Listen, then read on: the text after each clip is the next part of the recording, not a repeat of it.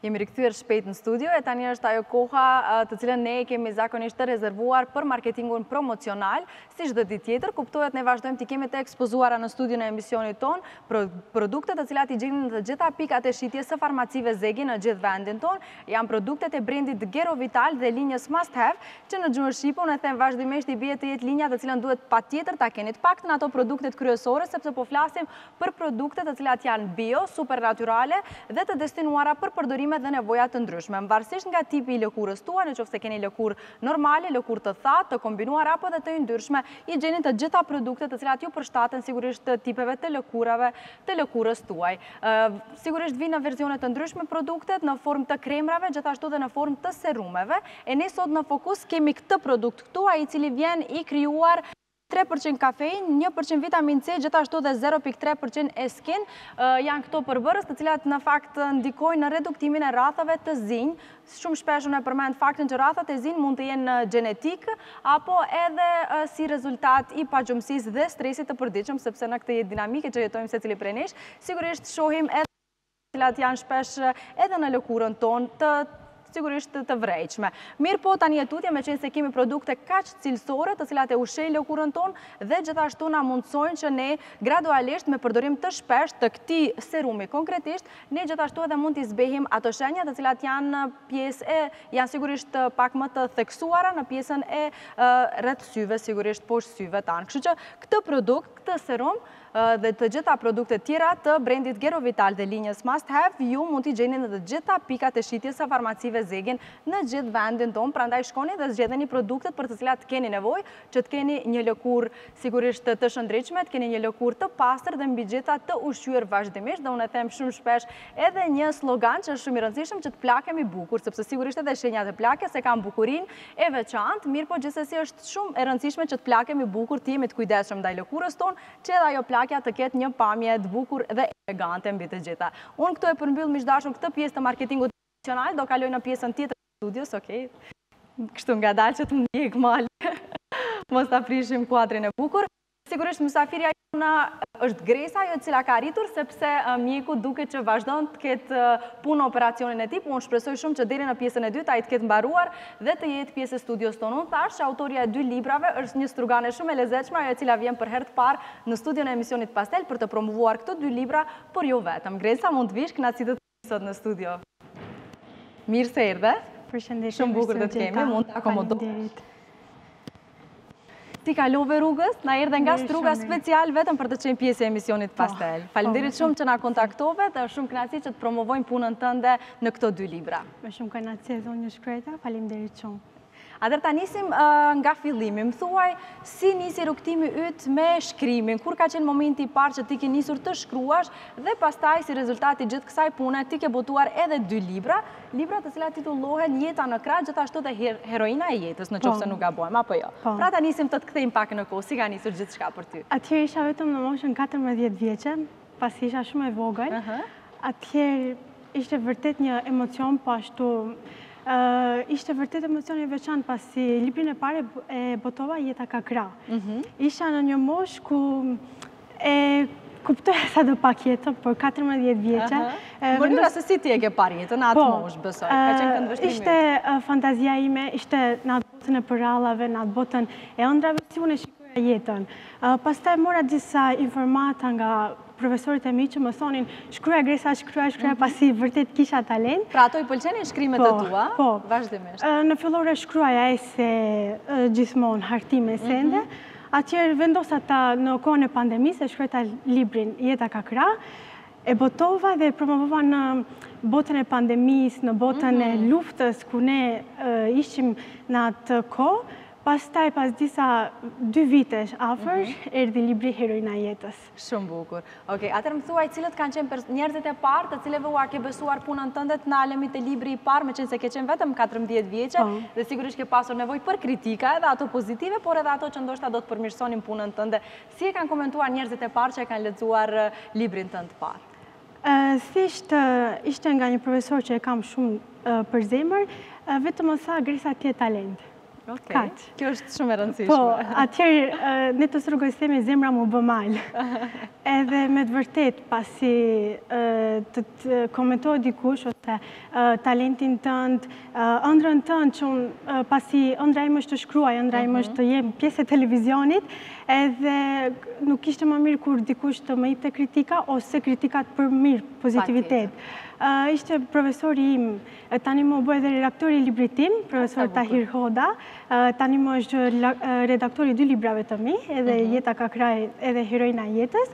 Dhe më tha, vazhdo më tej, por në librin e parë më tha, Gresa, stop. Qetë, do të vazhdojmë ngadalë, ngadalë, rrugëtimi yt nuk do të përfundojë këtu ngadalë, do të isha vërtet e vogël edhe kisha nevojë për shkrime, ato shenjat e pikësimit, drejtshkrimi, se entë po. pasi kisha normal, isha e vogël, vetëm klasa e nëntë. Kjo ndodh dhe me autorët, mendoj që kanë shkruar po. libra e libra, zakonisht kanë nevojë për lektorim, kështu që nuk është aspak problem te pjesa. Po, ndoshta isha në atë moshë që nuk e kuptoja gjithmonë, mshifesha në një qoshe dhe qaja. Pse e bëj këtë? Me frikë e kapa. E ke kapë kështu po, emocionalisht po, shumë. Po, po. Po sa kohë të është dashtë Gresa ta shkruash librin tënd të parë? Libri i parë unë e shkruaja edhe para se ta botoj librin. Ende mhm. nuk e kisha në plan që po. të shkruaja një libër, shkruaja. Pastaj pjesët e mia më të bukura, shkrimet e mia më të bukura shkruajta. Mhm. I kisha të shkruar në fakt kur i lexova, dhe atëherë ngjallën një emocion, një ëndërr për më tej. Bukur. Po të është dashtë kohë apo me kë je konsultuar që t'i selektoje ato veprat më të bukura që ndoshta edhe t'i publikoje në në librin tënd të parë? Njëherë me familjarët e mi, pastaj me redaktorin e librit, me profesorin e letërsisë edhe vazhdoi. Bukur. E pastaj erdhi dhe vazhdimësia e librit të dytë, Heroina e jetës, me një titull shumë të veçantë. Po më thuaj, ka ndonjë lidhshmëri libri i parë me heroinën e jetës? Besoj bëhet fjalë për nënën, a? Po. Ok, nuk e dyshoj këtë, sepse e pashë sigurisht edhe fotografinë. Mund ta marrim pak po, librin, sepse ka vërtet një pamje shumë të bukur libri, dhe duket që është një libre i pasur, a? Po. Paska material, kështu që do kemi kohë të lexojmë. Ok, më thuaj, ka lidhshmëri libri i parë me librin e dytë? Në fakt, heroina e jetës dhe jeta ka krahë mund të themi se ka lidhshmëri, mhm. pasi jeta ka krahë, bëhej fjalë, domethënë në libër ishin të spikatura më tepër ato drejtësitë, padrejtësitë, respekti dhe respektin arrita ta gjej tek nëna ime. Mhm. Andaj, librin e dytë, vendosa ta shkruaj për heroinën e jetës, për gruan, për forcën e jetës sonë. pasi kur mendojmë se kur dikush nuk na do, se kur mendojmë se nuk gjejmë dot forcë në jetë, nënat gjithmonë janë krah nesh. Shumë e vërtetë, pra ke vendosur që këtë vepër tënde të dytë, t'ia dedikosh nënës tënde, por edhe po. gjitha nënave po. anembanë botës. E po. paske nisur shumë bukur, ajo është lulja më e bukur që mban aromë lumëturie. E meqenëse e kemi librin këtu, ke ndonjë vepër që të pëlqen dhe që ndoshta do e ndaje, ta lexojmë bashkë për gjithë shikuesit tanë, që të shohim në fakt se për çfarë vepra bëhet fjalë, dhe pse jo emocionet të cilat i ke shkruajtur, i ke nxjerrë në letër, Na i përçosh edhe duke i lexuar tani, pse jo? Atëherë do të vazhdojmë me një ese, ajo është forca e jetës. E sikur ta dinim se çfarë mendon ajo. Sa kureshtarë jeni? Sa e guximshme është ajo. Edhe ato që duan ta mposhtin, ajo i vret me mirësinë e saj. Të shkruash nuk do të thotë t'i zgjosh njerëzit, por do të thotë ta duan atë. Kush është ajo? Sa vlerë ka ajo? Po, ka vlerë, është simboli i mirësisë, është forca e jetës, e mbi të gjitha, a është krenaria e njerëzisë. E di se nëse nuk ekzistonte ajo bota do të humbte një forcë? Ajo është ëndrra, pa të cilën bota nuk do ta imagjinonte ekzistencën e saj. Ajo është e fortë, pasi më solli mua dhe ty në jetë e nuk u trishtua nëse është vajzë a djalë. Sa e bukur bota. Rrotullohet rreth gruas që fal forcë, dashuri, mirësi e rrezaton vetëm rreze dielli të ngrohta. Ajo është poezi, por është edhe mrekulli, sepse ajo quhet nënë. Edhe shkrimtarët i kanë marrë fletat e tyre në mes të errësirës, ia kanë kushtuar vargjet më të bukura, tekstet mbresëlënëse vetëm nënës. Kanë kaluar net të tëra, këngëtarë duke kënduar për të. Nëna më bëri të udhëtoj në një rrugë ku mësova të ec pa frikë, sepse pas e kisha përkrahjen e saj. Wow, mund ta paramendoj se sa krenare është nëna jote me me këtë vepër të bukur. Pra më thuaj komplet frymëzimi ka ka qenë nga raporti që që ti ke me nënën tënde dhe që ndoshta si e ke admiruar ndër vite atë grua që të ka rritur ty dhe dhe sigurisht është është ndjenjë shumë e veçantë shkruash për nënën. Si është ndjerë nëna jote kur ka kuptu që komplet këtë vepër do t'ia dedikosh asaj dhe gjitha nënave përfshirë këtu? Atëherë, kur fillova të shkruaj, vendosa të shkruaj për gruan në përgjithësi. Nuk e kisha imagjinuar që të shkruaj për nënën, për gruan në përgjithësi, për forcën e saj. Mhm. Njëherë ia tregova motrave të mia, ne jemi tre motra edhe jemi shumë të lidhura njëra me tjetrën, edhe vendosa që... Janë më të mëdha se ti ose janë më të mdha? Unë jam e mesmja, kam edhe një motër më të madhe dhe një më të vogël. Si që i thonë mesi i artë. Edhe tre motrat merremi me art edhe më thanë vendos si është më e mira për ty. Vendosa i shkrojta, në libër ka 54 porosik shumë, mhm. ndërsa 27 ese të shkruara. Njëherë i shkrojta esetë e para dhe vazhdo, fillova, fillova, por me nënën kam një lidhshmëri shumë të fortë, pasi nuk e kam ndjerë të jem e kufizuar nga ajo, nuk e kam ndjerë frikën të kem për të, dhe vendosa bukurinë time të shkrimit tim, artin tim, shpirtin tim që i përkushtohet artit, t'ia dedikoj vetëm nënës. Nuk ka dhuratë më të bukur sesa kjo që mund t'ia bëjë një fëmijë nënës së tij, kështu që vërtet mund ta mund ta kuptoj atë momentin kur i ke treguar mamit tënd që në fakt kjo vepër i dedikohet asaj. Po më intereson cili ka qenë momenti, reagimi Pasi e ka lexuar veprën, besoj, nuk e di a ka pasur hapësirë që t'i lexojë gradualisht veprat e tua herë pas here, apo vetëm produktin final komplet librin? Si, si, si e ke bë këtë pjesë? Jo, atëherë, librin nuk ia dhashë askujt ta lexojë. Okay. E lexova vetëm unë dhe redaktori i librit tim. Ua, paske bërë shumë në këtë pjesë, më pëlqen kjo veprim. Pastaj, pasi u botua libri, edhe ia dhashë mamit në dorë. Mhm. Edhe i thashë mam, kjo është për ty. është dhuratë për ty. Sa bukur. Edhe mami me një habi më tha, sepse edhe fotoja tregon një pasqyrë vërtet... është zemra që i po, lidh në fakt po. bashkë nënën dhe bijën, një, një lidhje e, e jashtëzakonshme. Po. Edhe pastaj kur filloi e, esenë e parë, pastaj ato thëniet e shkurtra, me të vërtetë u emocionua shumë. Sa bukur, oke, po ke bërë një promovim të, të këtij libri, e ke promovuar në fakt, ke po. ftuar njerëz, Kur është bërë ky promovim? U bë në tre korrik të vitit 2023, mhm. nga mysafirët me që themi më të afërt. Paska kalu shumë pak kohë, pak po. nga promovimi i po. librit. Oke, bukur. Dhe si e kanë pritur njerëzit? Pasi e kanë lexuar, ndoshta shumë nga ata të cilët kanë po. qenë aty dhe të kanë kontaktuar, kanë dashur që të ndajnë, ndoshta atë përvojë me këtë libër, tëndin?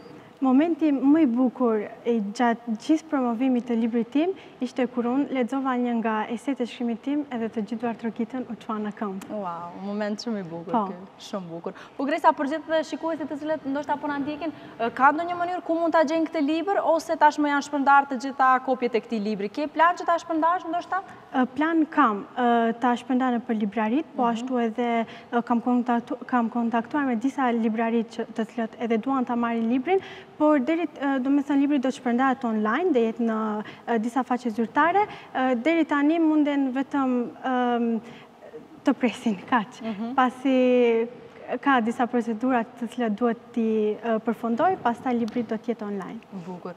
Po, struganet në përgjithësi, përveç që flasin shumë bukur, më duket se edhe natyra ju bën më të bukra, ndoshta ai peizazhi i bukur, nuk e di pse unë kështu i parafytyroj gjitha vajzat strugane, ti tamam përfaqëson një një strugane tre dhe shumë të bukur. Më thuaj Struga sa të inspiron ty në shkrim, sepse Kemi shumë shkrimtarë të cilët janë ulur këtu dhe thonë që është Struga ajo e cila i ka frymëzuar ndoshta për për të nisur dhe për të shkruajtur, ndoshta ai peizazhi, ajo zhurma e lezetshme e e liqenit, ty të ka frymëzuar? Është Drini i Zi. Është Drini i Zi që të ka po. frymëzuar ty. Po. Okej, bukur. Po më thuaj tani këtë periudhë çfarë pasi ke promovuar librin, besoj ke heq një barrë të madhe tashmë, me në çfarë je fokusuar, me çfarë merresh, je në shkollë të mesme Gresa? Po. Okej. Çfarë janë prioritetet e tua? Unë jam në shkollën e mesme të mjekësisë. Po ashtu jam edhe prezantuese në festivalet që mbahen në Strugë. Tani kemi... Këtë gjë nuk e dyshova, sepse ke një një të folur shumë të bukur. Tani kemi koncert në datën 25 dhe pres të përgatitemi për koncertin. Bukur, okej. Përveç kësaj, ke plane tjera për të shkruajtur edhe diçka tjetër? Përveç e aktiviteteve të tua dhe shkollës, sigurisht përditshmërive, ke në plan ndonjë vepër të tretë, si si qëndrojmë në këtë pjesë? Po, unë jam edhe tekstshkruese e këngëve, shkruaj edhe këngë. Po ashtu... Tekste për fëmijë? Po, edhe për fëmijë, por edhe për të rritur, por për të rritur nuk më është kërkuar. Pastaj jam fokusuar i shkruaj edhe skenare. Mhm. Domethënë, e gjithë... Gjithçka që ka të bëjë me shkrim. Shkrim. Po ashtu jam edhe një...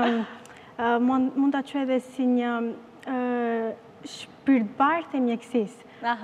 Dua që ëndrra ime, shkrimi im do të mbetet vetëm si hobi, nuk besoj si profesion, por mjekësia do të mbetet ah, profesion imi i përjetshëm. Mjekësia, e ke po. synim që të bëhesh një mjeke në të po, ardhmen? Po.